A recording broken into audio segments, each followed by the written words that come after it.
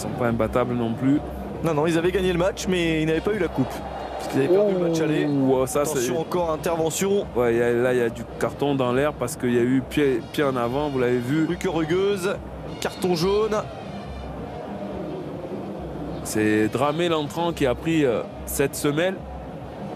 Et Chongo Cabasso qui prend ce carton jaune. Oh oui. Aïe aïe aïe aïe. Ah, regardez ça, ça c'est carton rouge, c'est pas carton jaune. Hein. Je suis désolé.